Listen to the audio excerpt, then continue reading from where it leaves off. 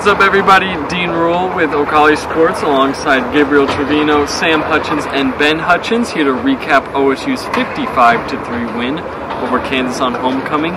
Sam, what stood out to you tonight? Well, I think what stood out to me was uh, who the player that Kolby Harvell Peel called the most competitive player on the team was Spencer Sanders tonight.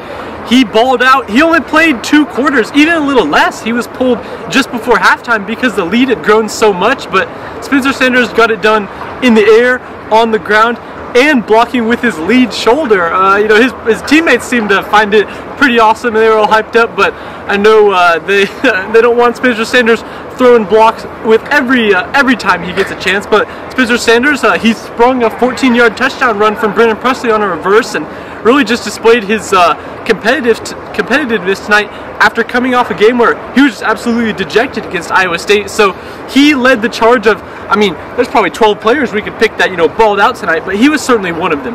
Sam, another reason we saw, you know, another area we saw Spencer Sanders' competitiveness was his ground game, right? He was the leading runner for OSU uh, for, you know, the majority of the first quarter, outrushing Jaylen Warren. But yeah, Sam, he had uh, the touchdown on the ground to get things started for the Cowboys um, back when this game was close, you know, in the first quarter. It wasn't close for long. It, it was not. But Spencer Sanders really getting it going, you know, 44 yards on the ground in the first quarter. Uh, that was one area where, you know, we hadn't seen a whole lot of that um, continually. You know, it looked like the game plan was kind of tailored to getting Spencer Sanders the ball on the ground, and I thought it was really an, an area of success for this offense. Gabe, I know we've talked a lot about the offense so far, but I know the defense really showed up. Didn't allow a first down in the first half. Can you talk a little bit about what they did tonight? Well, as they said in the press today, just believing in Coach Knowles. He's the mad super scientist of this defense. He's the one that schemes everything up, calls the plays, and the players just believe in him. They do what they ask them to do, and that's how they succeed. Uh, didn't allow first down until I believe the third quarter, somewhat, and this was like the biggest margin of victory since the Vietnam War ended for a homecoming game. So, I mean, pretty good night for the defense out here, even when uh, backups came in, Corey Black good night for the defense. Gabe, what year did the Vietnam War end? 1975. Mom, I'm impressed. I'm impressed. You did your homework for it. I'm impressed. That's a pretty dominant day for this defense. And a dominant day for the entire OSU offense. Guys, uh, complimentary football. OSU had four drives start in the K-State territory, deep in K-State Kansas territory. Kansas territory. They started, um, they scored on all those drives. You know, three touchdowns and one field goal on those drives. A couple different guys got action with the field goals.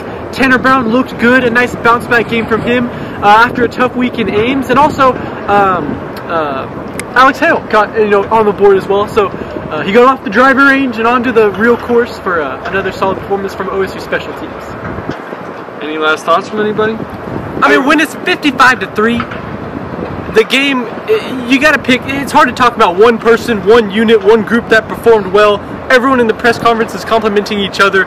So uh, there's always the Kansas caveat of it happened against the Jayhawks. But uh, after walking out of here, you know, Oklahoma State has only had two wins this season with double-digit margins of victory. So uh, with the Kansas caveat included, know, obviously not a highly ranked team, it'll be interesting to see if this team can find any momentum for the future off such a beatdown where they could get the second stringers in before halftime.